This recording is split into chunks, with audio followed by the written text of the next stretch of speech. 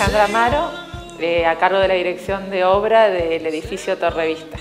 Mi nombre es Estefanía Herrerdri, soy arquitecta y estuve desde el comienzo en la obra. Mi nombre es Víctor Alberto Tomás, arquitecto. Eh, nuestra función fue la ejecución de la obra. Mariano Obispo es mi nombre, trabajo en la, en la administración del edificio.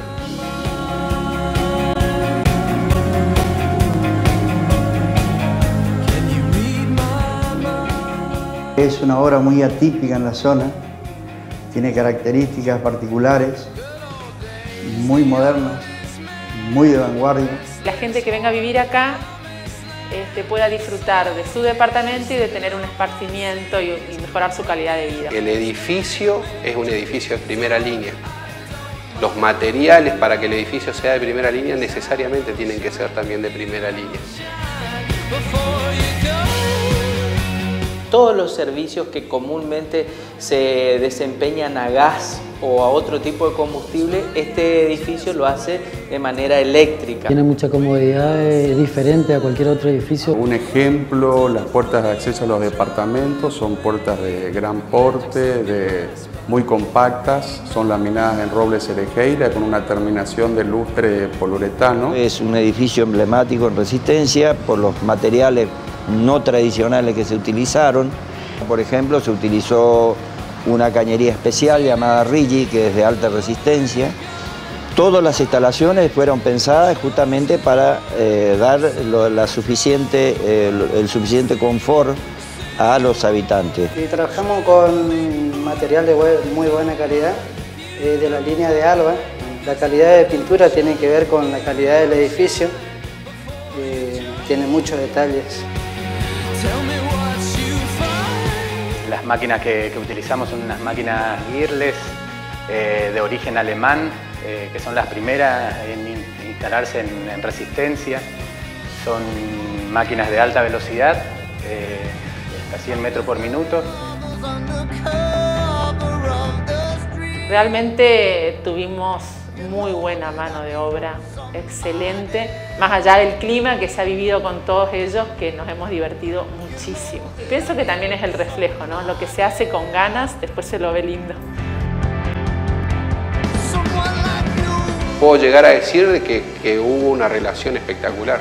Y formamos un equipo de varios profesionales que eh, nos mancomunamos, nos llevamos bien, nos hicimos muy amigos y eso es importante para poder llevar a buen fin la obra.